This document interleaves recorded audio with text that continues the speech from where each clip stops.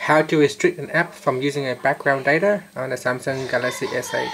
So if you worry about uh, an app uh, using too much uh, background data and hence you have to pay for more mobile data on your phone, so here's how you can stop it. First tapping on the home key to take you back to your home screen, swipe down at the top and tap on the settings icon.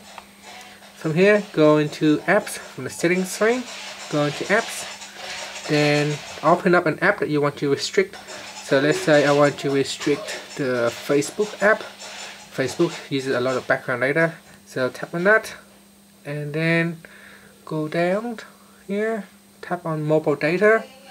Then tap on allow background data usage and turn off.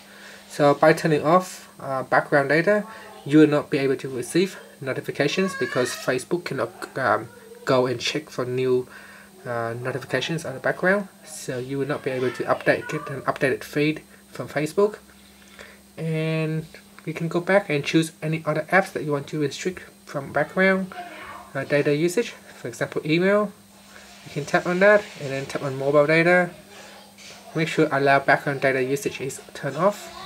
And that's it. Tap on the home key to go back to your home screen. That's how you can uh, restrict an app from using background data on the Samsung Galaxy S8 Thank you for watching this video. Please subscribe to my channel for more videos.